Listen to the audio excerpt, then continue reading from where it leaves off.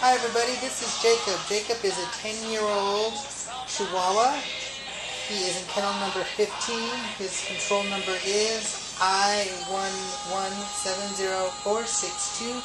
He will be available for adoption on November 6th. He weighs about 8 to 10 pounds. He is very sweet, very playful, and would be the perfect lap dog as you can see. Uh, so come on down and meet Jacob on November 6th. Uh, again, control number I1170462, kennel number 15. Uh, November is Adopt a Senior Dog Month.